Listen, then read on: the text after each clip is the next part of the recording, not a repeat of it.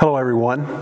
So once again, at last night's board meeting, we started off recognizing several of our successful groups of students. We've had so much success this year in Frisco ISD, and I just wanted to read off a number of those groups that we recognized last night for their successes.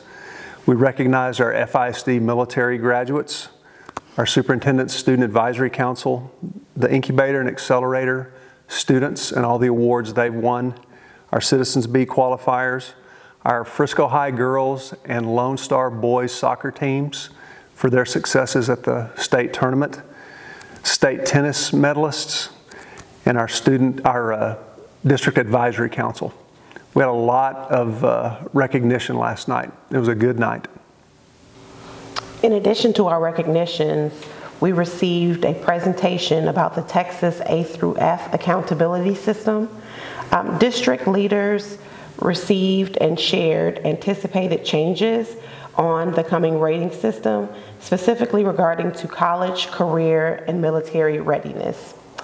Um, they also explained and updated the criteria and the scoring guidelines that we would adhere to. The Texas Education Agency is still finalizing the guidelines so that information provided is subject to change. We also heard a legislative update last night. There are uh, three weeks left in the legislative session down in Austin, and there's still a lot of work to be done. There are about 1,300 education-related bills that have been filed this session. Some of the major bills being discussed relate to school safety, teacher retention, library books, instructional materials, and school choice. School finance is a big topic of discussion this session, as it usually is. And as of now, the state has proposed $7.4 billion in new education funding, which is about half of what schools need across the state to make up for the inflation that we've seen since 2019. The decisions made at the state level in the next few weeks will ultimately affect FISD's budget and compensation plan for our staff moving forward into the next school year, and the board will vote later in June uh, once more certainty from the legislature is had. And lastly, we heard from our emergency management team regarding intruder detection audits. The audit visits by the Texas School Safety Center began in August following a June 2022 directive of Governor Abbott. They have a specific purpose of assessing the ability for intruders, or in this case, a state inspector to gain entry to schools through exterior entry points.